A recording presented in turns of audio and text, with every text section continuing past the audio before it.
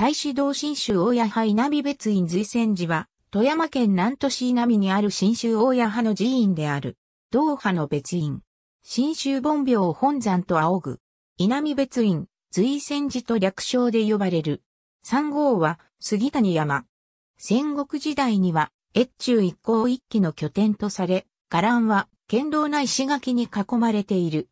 随泉寺の建物の彫刻は、すべて木彫刻産業が盛んな、南都市稲美の稲美彫刻職人の手によって飾られている。境内の聖徳幼稚園明徳元年、本願寺第五代釈如により建立される。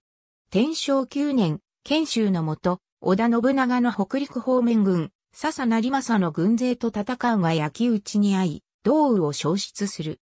慶長七年、本願寺の分立により、順上十二世保守とする本願寺教団に属する。慶安二年、教尿十二代保守とする本願寺教団に転派する。明治十二年、火災で大門などを残して主要伽藍を消失。